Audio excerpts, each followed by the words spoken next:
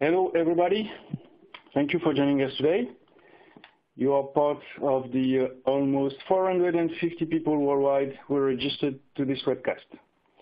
This webcast is powered by Yole Development, KnowMade, System Plus, and it is dedicated to wireless technologies for 5Gs. My name is David Jordan, and I am Global Sales Support and Coordinator for Yole Development.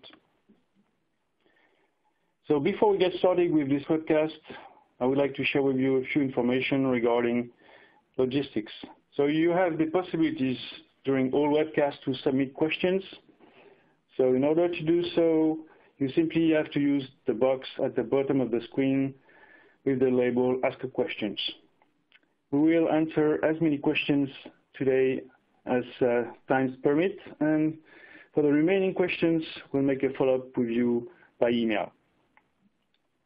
Concerning the material and all the contents from this webcast, please note that the presentation is already available in the resources section. You will also receive an email after the webcast with a link to the recording session. So today, Yole Development, KnowMade, System Plus Consulting will share their analysis for you on wireless technologies for 5Gs. First, let's start with a short introduction presenting 5G drivers and use case presented by Cédric Malaquin. He is a technology and market analyst at Yole Development, and he specializes in RF devices and technologies. Cédric, it's your turn. Okay. Uh, thank you, David. So hello, everyone. Uh, thank you for joining our webcast so today, uh, Yole Development, System Plus Consulting, and KnowMade joined their, their force to build this webcast. Uh, and we extracted the, the, slide you will show on, uh, on, on, this report from present report available and, and future report that will be built uh, in the coming weeks. So the first one just is the 5G impact of the RF front-end module and connectivity for cell phone. Uh, first of all, uh, we all know the global, global mobile data traffic forecast is uh, increasing uh, so much. With the coming 5G, we all are questioning about the impact for RF front-end industry and what about the connectivity technology for cell phone market. Uh, okay, just to mention uh, from the VNI Cisco report, mobile data traffic is expected to grow uh, by 2021, 20% of the global IP traffic will be mobile mostly 4G connection, but also 5G connection will start uh, by 2021. It will, it will be 1.5%. And another point which is important to note uh, is that 63% uh, of the global mobile data traffic will be offloaded to Wi-Fi or small cells.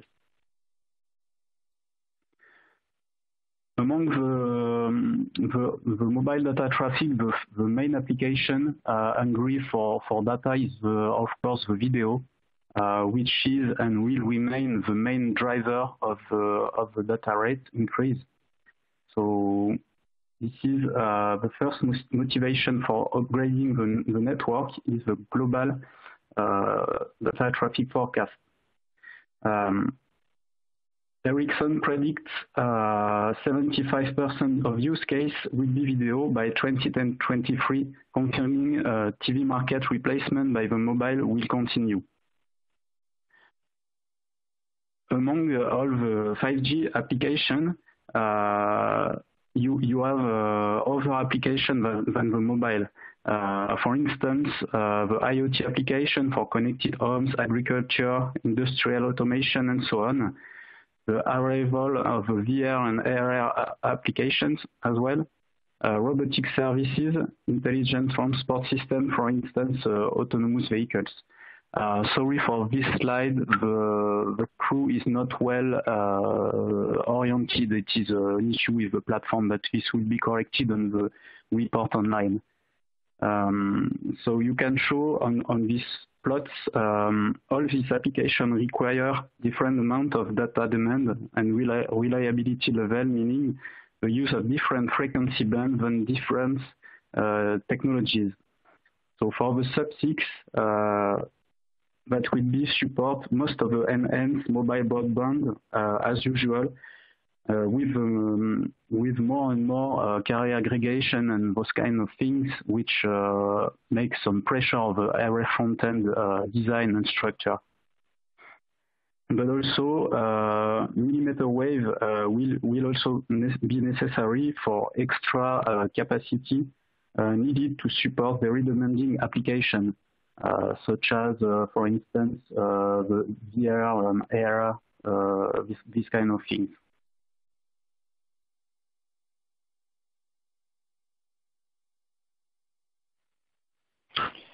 Okay. Thank you very much, Cedric, for this introduction. Once again, do not hesitate to ask questions in the chat box. We'll continue with a patent landscape analysis from Paul Leclerc, patent and technology analyst at KnowMade. Paul, it's your turn. Okay. Uh, hello, everyone. So the, the next part is uh, dedicated to the technologies that will make um, the 5G revolution possible. And the way we're going to dig into this technology is not through maybe more classical market analysis or reverse engineering technologies that you may be more familiar with, but by analyzing the IP position and the um, patent landscape related to those technologies. So the next part will be focusing uh, on two technologies, so the RF front-end module and uh, the acoustic wave filter. And these results and data that I'm going to present you are uh, extracted from two different patent analyses that we've done at the end of 2017. So if you look at the time evolution of the patent publication related to RF acoustic waves, you can see that uh, after huge growth in the beginning of um, the 17th and up to 2005, which is due to the development of smartphone technologies, there is a decreasing of the patenting activity of about minus 6.5% per year. And so um, the question is, is uh, in spite of the numerous frequency bands that are going to uh, happen in the 5G application, so for Cedric mentioned the sub-6 gigahertz, but also the 24, 28 gigahertz, that requires many filtering operation, uh, we cannot see a huge increase of the patenting activity, and that's something very uh, strange. Uh, and the question is why there is no sign of such evolution, of such increase of the attraction, attraction of uh, filtering steps. And this uh, decrease also happened for both SAW technology, so surface acoustic wave technology, but also BAW technology. And uh, it's really strange uh, regarding the huge attraction of 5G for all um, the cell phone application. So if we look a little bit more into details uh, on uh, this IP landscape related to acoustic wave filter, what we can see is that if we look at SAW filter, so the most developed uh, IP landscape with the highest number of patents, and if we look at the uh, main IP player activity, uh, you can see on the graph the number of pending patents, so that is related to the most recent activity of this player. Uh, against the y-axis, you have the number of granted patents, so the real asserted technology. You can see here that Murata is leading by far the IP landscape with a very high number of pending ungranted patents and will be an uncontested IP leader for the next five years. And then you have the small competition which is starting to emerge, but not that important, between Skywork and TDK. And I just remember that TDK is, has a joint venture now with, with Qualcomm. So it's a small competition, but this competition will not really affect the IP landscape. And so this IP landscape is very settled, and there will be no major change in the next five years. So we we don't expect any very big uh, event happening at the SAW filter level. However, if you look now on the BAW filter technology, which uh, address higher frequency in terms of filtering uh, operation, you can see that the landscape is very different and the evolution will be very uh, will, um, will be very different with many changing in the next year. Indeed, you have here two main uh, IP leader, Broadcom and Taiyo that uh, have led the, the um, IP landscape for a couple of years. But as you can see, there will their patenting activity is a little bit into uh, is decreasing, and so um, their position is a little bit struggling.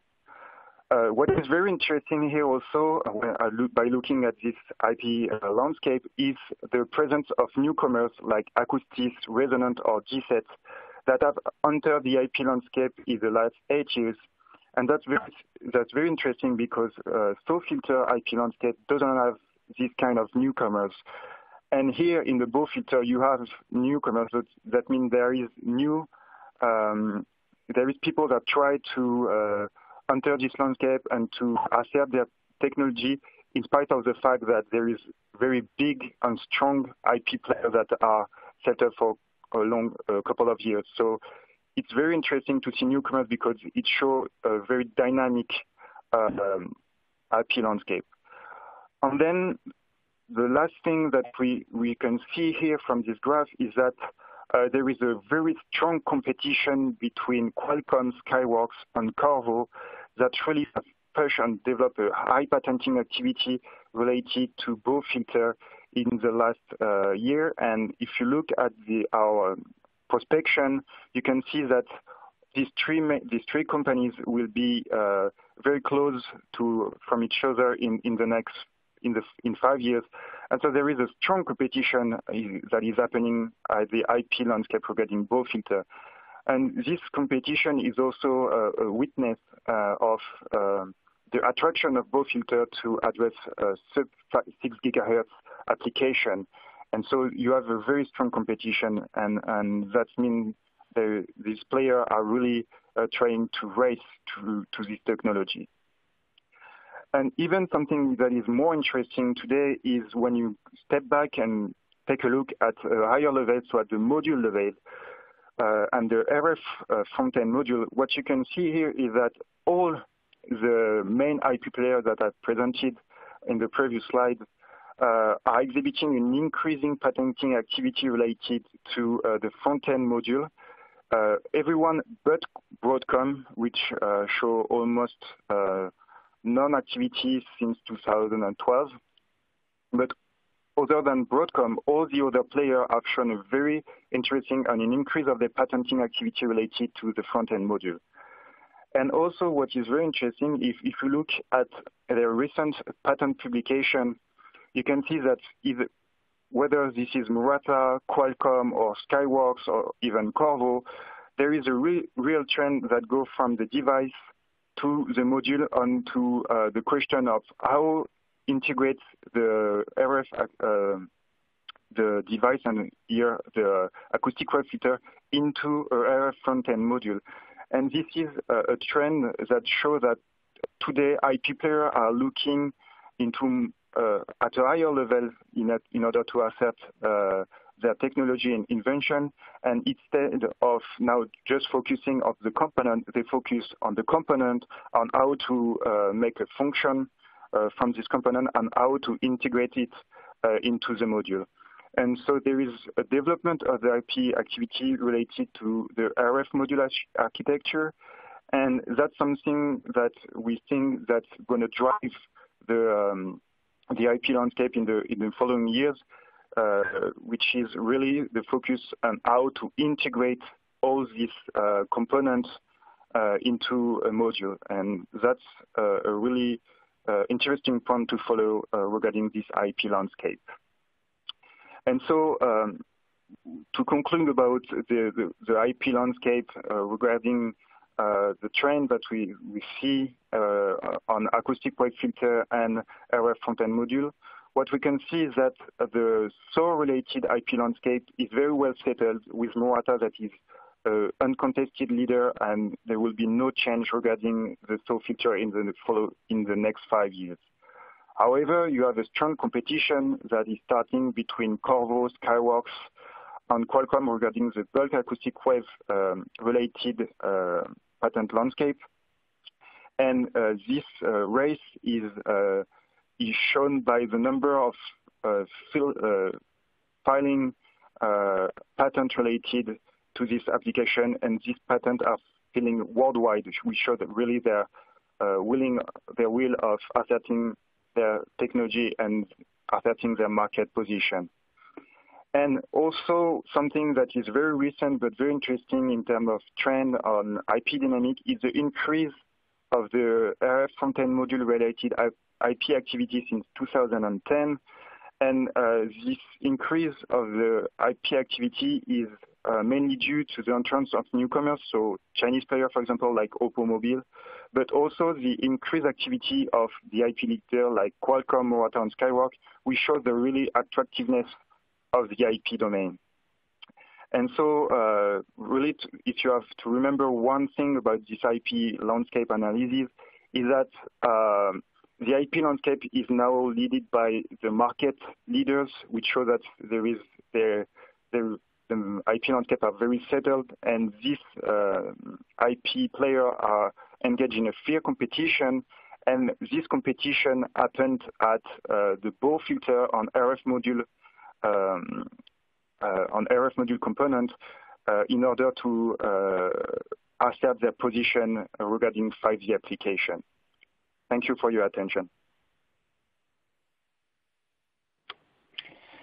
Thank you very much, Paul, for this um, patent investigation overview.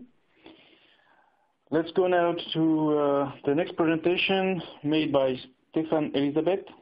He is project manager at System Plus Consulting, and he will provide a technology overview of all the RF front-end modules.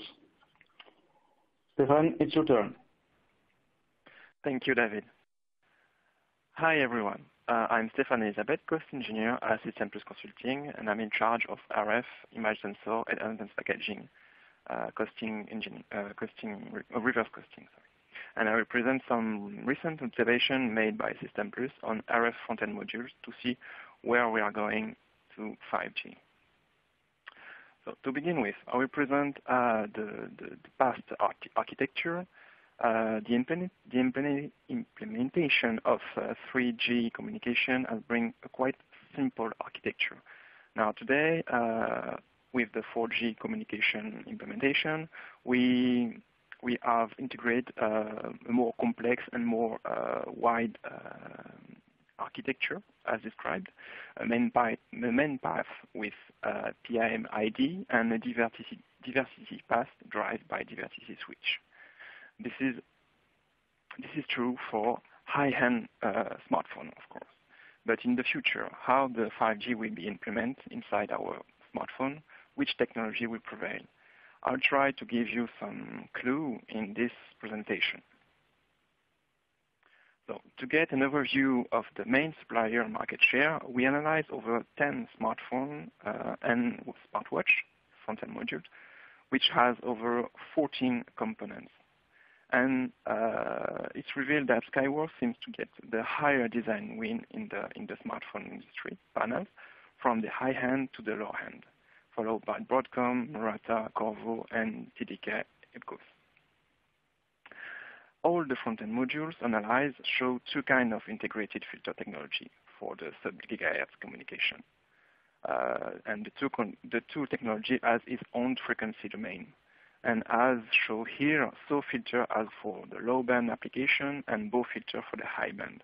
But with new uh, new player coming, uh, like Resonant, for example, there is a hard competition on on the um, on the mid band uh, based on criteria like design, cost, performance, where the two the two technology can compete. And these two, these two technology are based on different approach. On one hand, SAW filters are based on acoustic wave propagation at the surface of um, piezoelectric. And as the technology uses surface wave, it's kind of limited by the interdigital transducer distance. But on the other hand, the BAW features use acoustic wave propagation inside inside the piezoelectric. And depending on the wave velocity inside the piezoelectric, the frequency propagation is linked to the piezoelectric thickness. So by doing so, um, in theory, uh, the technology has no limitation. And we can see that uh, we can split uh, the supplier with these two technology, Skyworks, Murata, and TDK EPCOS for the SAW manufacturing, and Qorvo, Broadcom, and Taiyo for the BAW manufacturing. And this last one is integrated in, uh, in the split, even if it doesn't have any front-end module. In fact, Taiyo is a third one uh, supplier for front-end module manufacturer, uh, Skyworks. And with dedicated costs, also supplying the company with some SAW feature in the low band uh, frequency, Skyworks is the only one manufacturer with uh, front-end module production on all the frequency domain. Uh, TDK EPCOS is also supplying Qorvo in the low band application, allowing the company to be on two frequency domain, low and high band, and with two technology applications, SAW and BAW filter. Finally, with in-house capability, we have uh, the three company completed the, the landscape.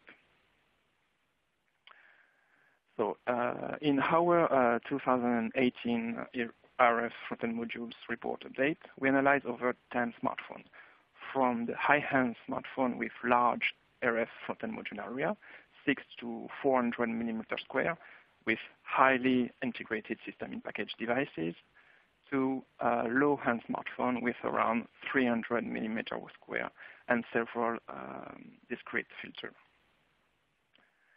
And uh, as a first result of our analysis, here is some direction taken from by the several analyzed uh, OEMs. As expected, the diagram shows that high-end OEMs have the potential to afford fully integrated solution, with a major part of the RF area allowed to PAM ID.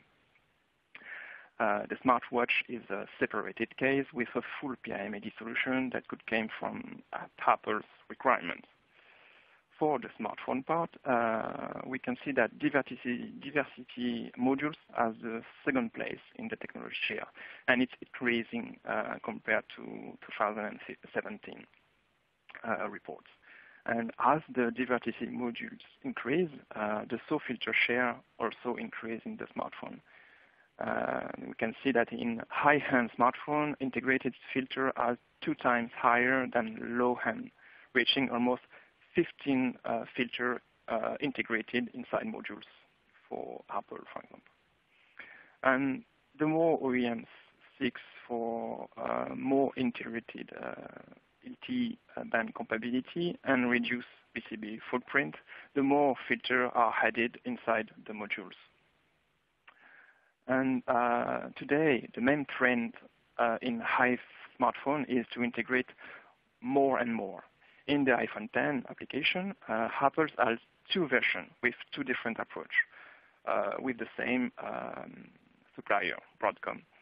Um, on, um, um on one hand, we have uh, two separated modules and uh, another another with uh, mid and high band front end in one uh, integrated in one modules. The huge drawback uh, of the integration of all-in-one uh, is uh, the increase of the footprint, over 22% uh, of increase, but with, three non-negligible advantage.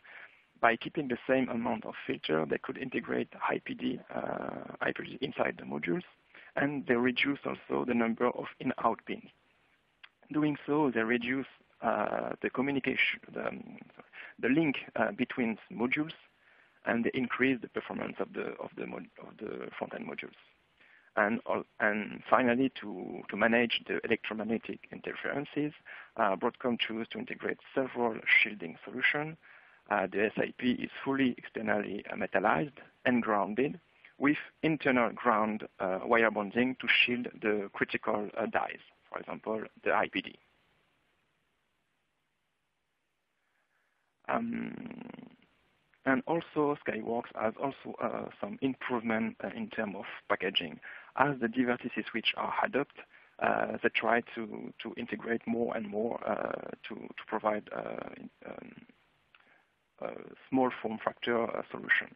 And um, like Broadcom, uh, they integrate uh, internal and external shielding by using uh, wire bonding and metal sealed um, packaging.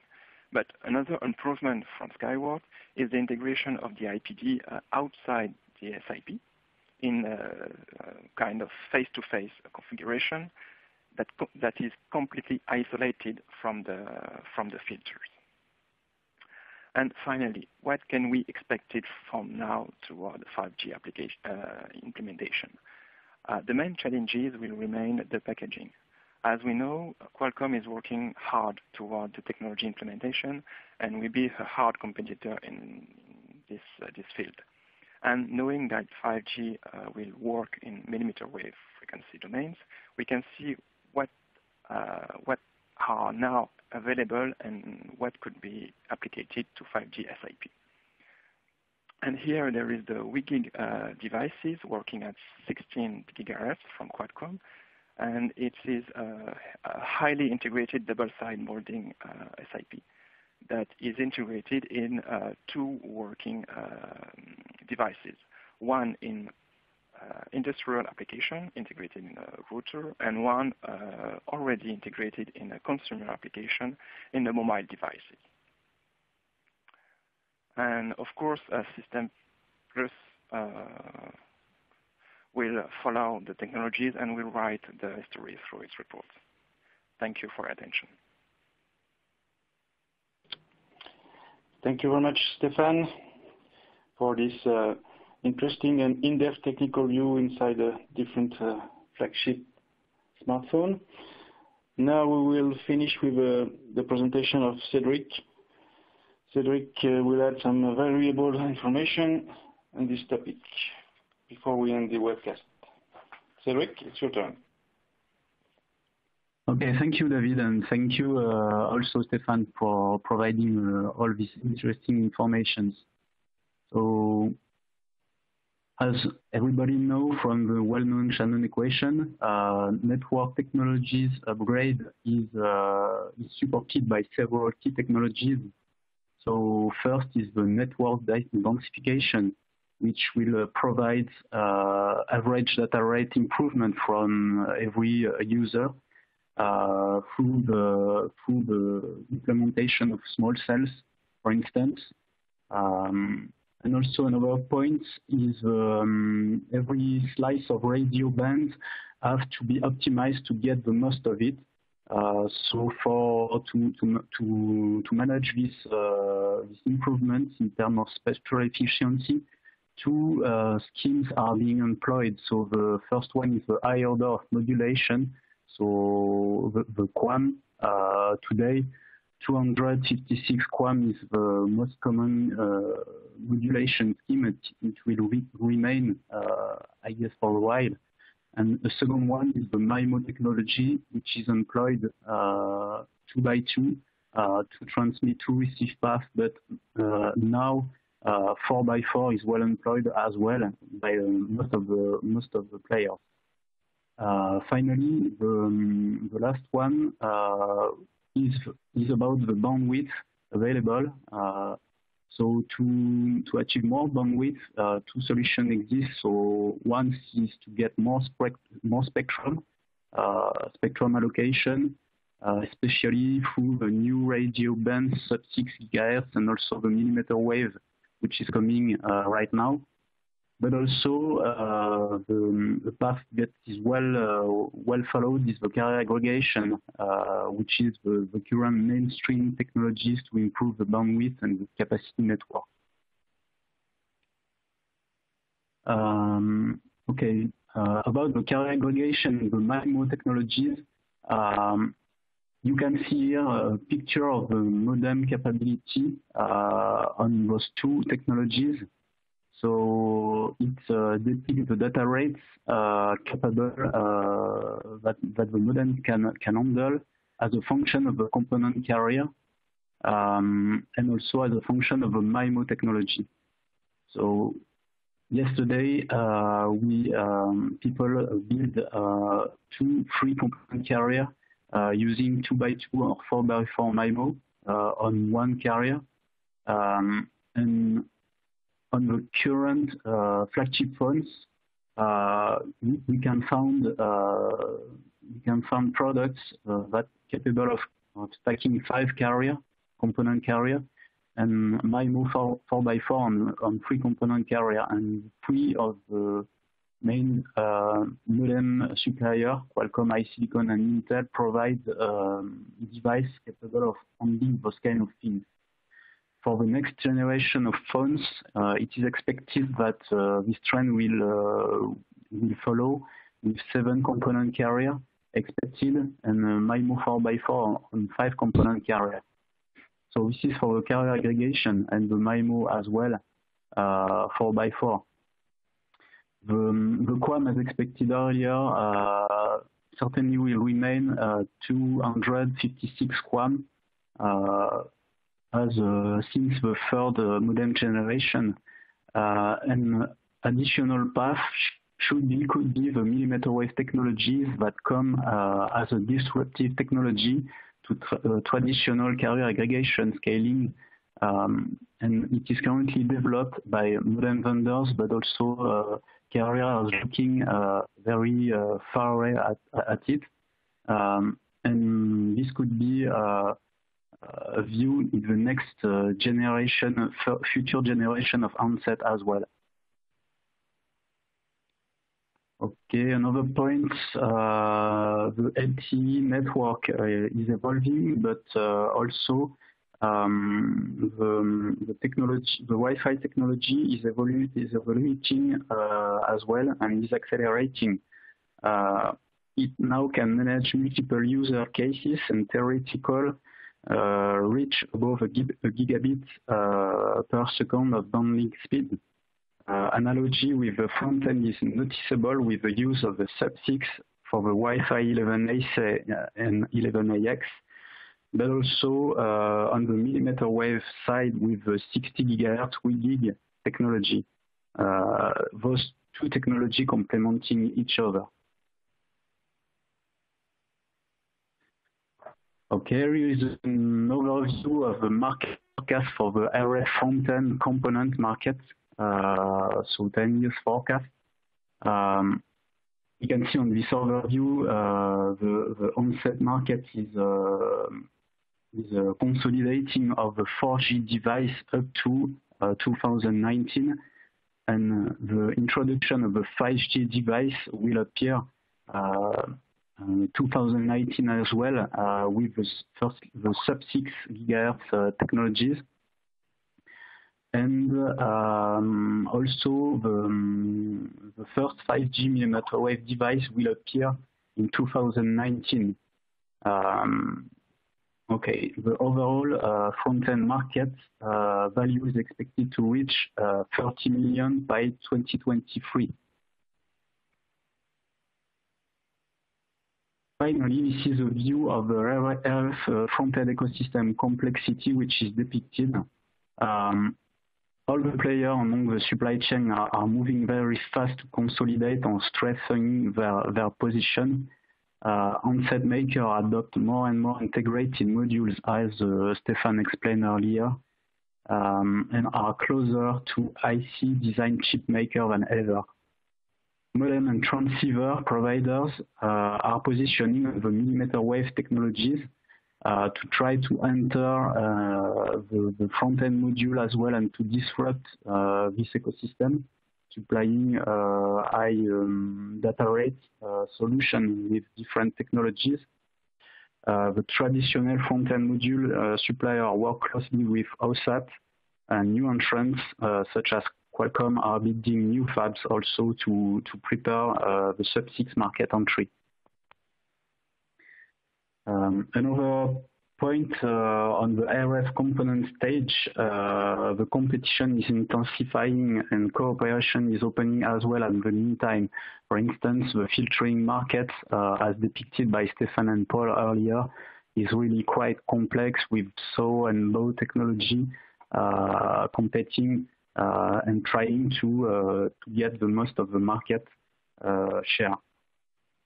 And the um, last point, I wanted to mention uh, a parallel supply chain could also emerge with highly qualified companies such as Resonant, uh, providing IP and filters to PA companies, uh, allowing it to build a PAM ID offer at a competitive cost.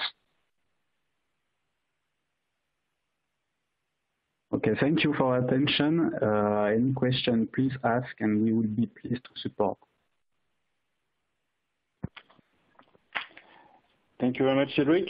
Thank you all for your relevant presentation. We are now going to wrap up with a Q&A session. We will answer uh, as many as many questions as time permits, and we'll follow up via email for the remaining ones. The first question is for you, Cedric. What frequency band is most likely to happen in the micro, in, sorry, in the millimeter wave regime? Okay, thank you for the question, David. Um, from my understanding, uh, millimeter wave is a differentiating technology for service provider. Uh, we, we saw really in the, in the um, recent events that uh, carriers such as AT&T or Verizon in the US acquired license in 28 and 39 gigahertz band through company acquisition for fixed uh, wireless access. But um, also uh, people like T-Mobile, uh, carrier like T-Mobile on some spectrum in the 28 gigahertz band. Uh, you, you also have from Korea uh, uh, a 28 gigahertz auction that will open June this year. Um, and also on the, um, on the Japanese market, NTT Docomo uh, completed trials uh, mainly on the 28 uh, gigahertz frequency. So for for to answer the question, I think the main focus uh, today is on the 28 gigahertz uh, right now, um, while uh, for for for US and uh, and Korea and Japan, uh, while for the Europe and China, uh, up to now the focus mostly remain on the sub 6, but 26 gigahertz bands most likely to be used in Europe within two years but just the, the main frequency band that should be used today will, be the, the 28 gigahertz for sure. Okay. Thank you. Next question. Thank you very much. The next question for Paul. Uh, Broadcom IP activity seems to be low compared to the other player uh, in what you presented. Can you comment about Broadcom current IP strategy and position? Uh, well, uh, tricky question here. Um, yeah, in fact, Broadcom IP position is quite interesting um, because Broadcom have a very broad, uh, wide IP portfolio. Uh, its technology is very, uh, also is very well known, and he has strong uh, patent with very on key patents regarding this technology. Uh, however, this, its IP, IP activity has really decreased um, over the last eight years. And today, really, we don't see any activity from Broadcom. Uh, also, regarding uh, different uh, reverse engineering we've performed. we don't see any change in their technology and in their product.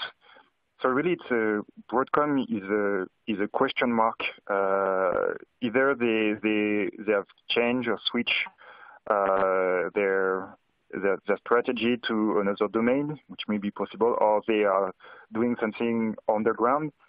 Um, but Broadcom's IP activity is at uh, it, in a standby mode for now, and uh, really we, we, we don't have any clue or any any information or, or trend that can that can show uh, an evolution or uh, an increase of, their patenting activity uh, in the coming years regarding uh, either the acoustic wave filter or uh, the front-end modular.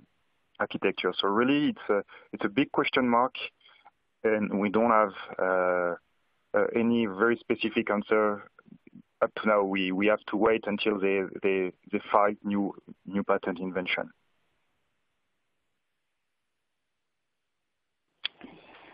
Thank you very much, Paul. Next question is for Stefan. How do you envisage the RF front-end evolutions in the next few years? Um, okay.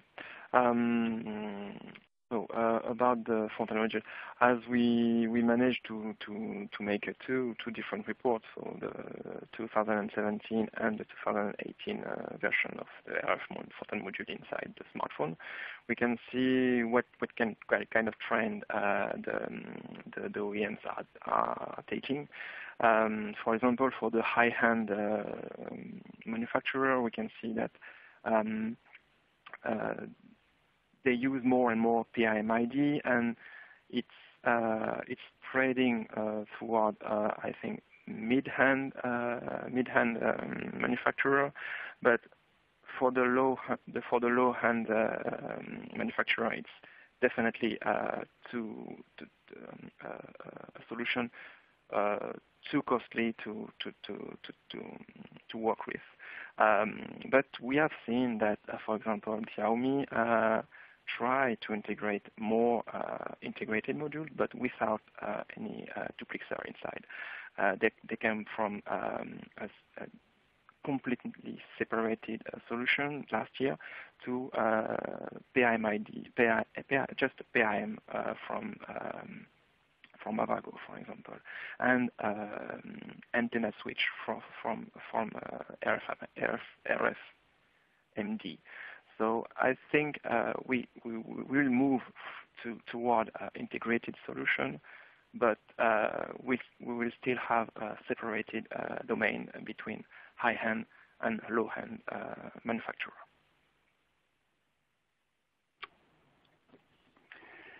Thank you, Stéphane. Next question for Cedric. Do you see 8x8 MIMO coming in the handset? Okay. Thank you, David, for the for the question. Um, 8x8 MIMO is a, is a technology, uh, as explained, that should uh, enhance the, the, data rate, but this will certainly enter the premise equipment market, but um, certainly not in the mobile. Mm, there is uh, several reasons for this.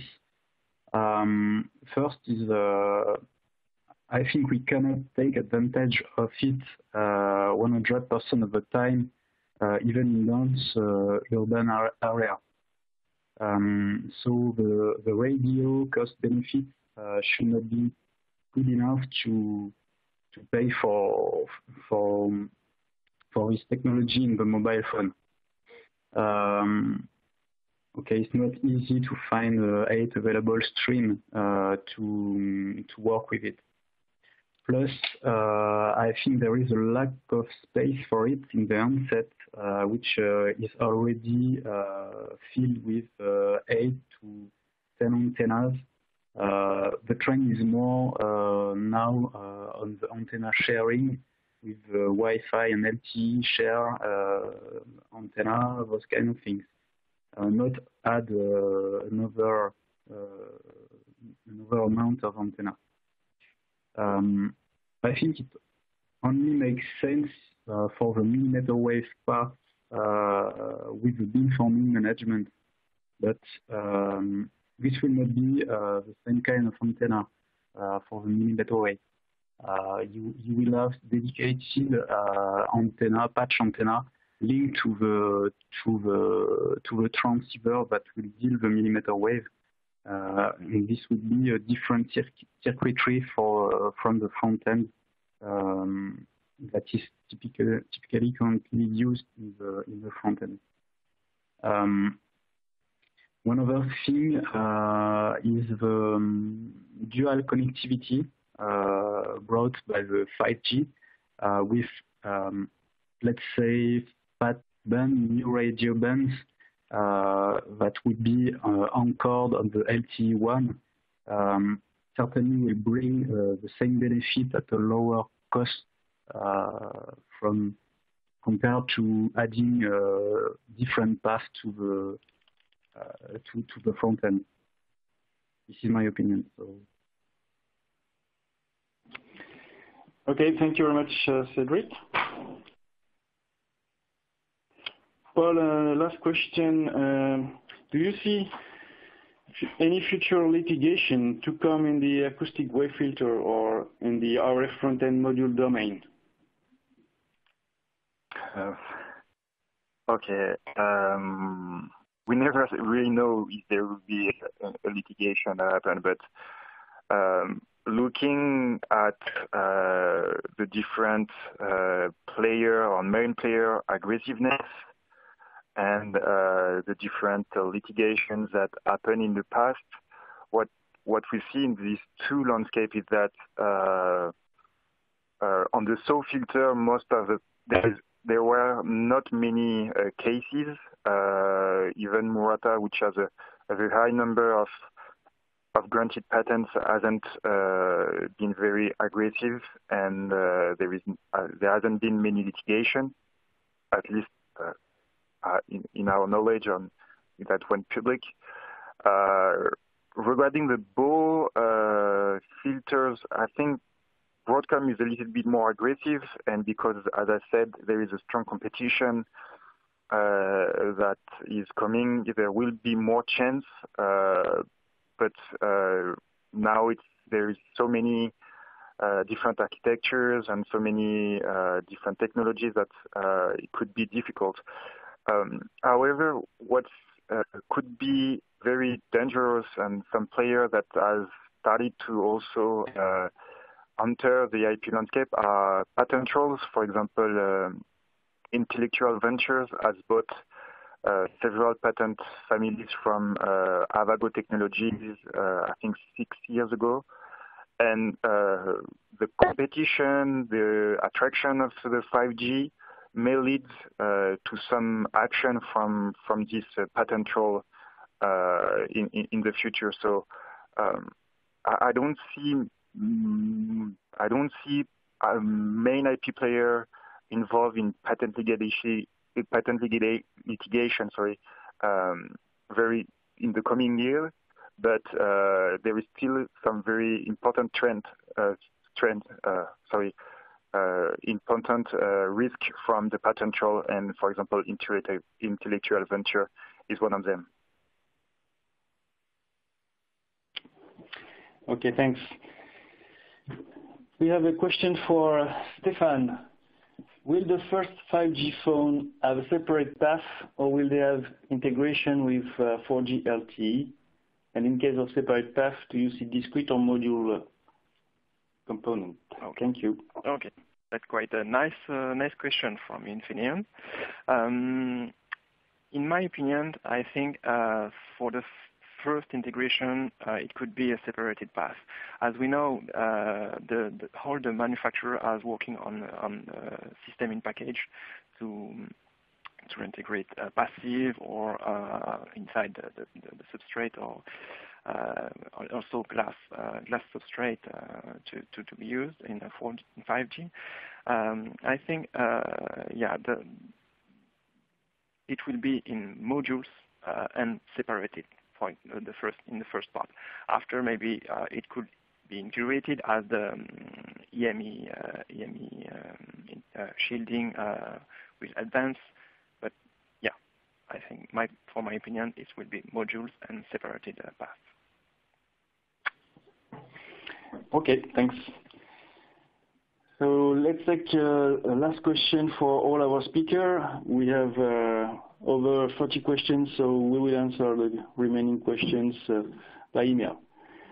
So last question for Cedric. How do you see the new radio band implementation in the handset? Okay, it's a tough question. Um, right now, this is 5G non-standalone uh, implementation that is happening.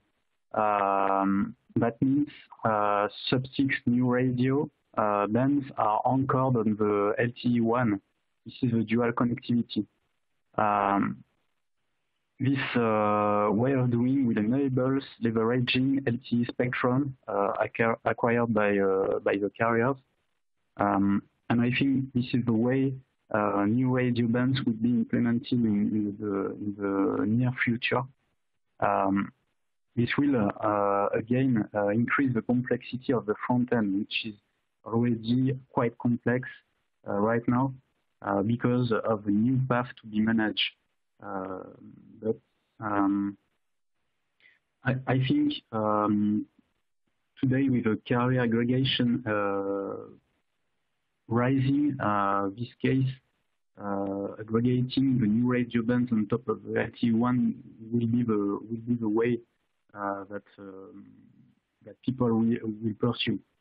Um, for the new radio millimeter wave implementation, this will be a different thing. So uh, Stefan told a little bit uh, just a question before that um, Uh, I think this uh, this uh, new radio millimeter wave bands will uh, require a separate path uh, front-end transceiver, uh, specific antenna, and also specific challenges to be solved, such as, for instance, the radio links that have to be maintained between the base station and the device for non-line-of-sight case or um, or long-range uh, communication, those kind of things. And also, um, one other important important point to to look at is the power consumption of the device uh, because of the of the power uh, available on the onset, which is not so not so huge. So um, again, this uh, this millimeter wave uh, technology implementation uh, will look quite different from what we know for, from the front-end uh, industry. Uh, okay. Thank you very much. Last question for Paul. You mentioned the increasing activity of Chinese players. Can you give us more information about uh, who they are and, and their technology? Um, yeah, I, will try. Uh, uh, indeed, we among the the among the, the newcomers that has that have entered the IP landscape over the last eight years, there is many Chinese players. Uh, I think it's maybe due to the activity of Huawei on ZTE, ZTE that have really uh, brought uh, many Chinese players in, into their uh, into this uh, kind of technology. Um, it's difficult to answer. There is, for example, uh, most most of the newcomers are in the RF front-end module IP landscape. I think because it's something that is most that is most that is new and there is more white spaces. Uh, for example, Oppo has started to to find uh, patents related to a front-end module. You have also uh, Liwitek that have uh, started to find some patents related to the front-end integration in their transceiver. RDA, microelectronics are also entering this landscape. So th there is a lot. There is also a lot of university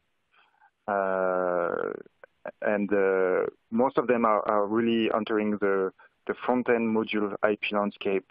Uh, regarding the acoustic wave filter, um, I think they most of all, most of them really enter uh, by looking at BAW technology. I mentioned DSET uh, that has patenting, I think, about 20 invention um, regarding the packaging of the bulk acoustic wave uh, filters. Um, there is also company from Jiangsu Electronic Technology, uh, microchip technology also that has entered the, this landscape. But um, it is really difficult because, the, as Cedric mentioned in his uh, last slide, the environment is very dense. Uh, it's moving a lot uh, between front end to components, and there is a lot of links um, and the Chinese are also fi filing a lot, a lot of patents, but the one I mentioned, so Oppo, Liwitek, uh, RDA, and uh, microchip technology are, are among the, the, the players that have uh, filed uh, numerous patents in the last year. And uh, I'm sure there will be more to come, and it will become more and more uh, dense and complex uh, environment. Thank you very much, Paul. So the, that was the last question. The webcast is now ended. So just to remind you, you will get uh, an email uh, in the in the next 24 hours where you will have a link to the recorded session of um, this webcast. So feel free also to share the, the presentation or the video with, uh, with your colleagues. You can find on our imicronews.com website more information on our uh, reports and the latest news of the industry. If you still have a few questions, uh, you can still send them to uh, our colleagues. You have all the contact details on the slide that is currently appearing in the webcast. So thanks a lot. Thanks for joining us. Thanks for all the presenter. Feel free to, to contact us um, by email if you, if you need, and have all a good day. Thank you very much.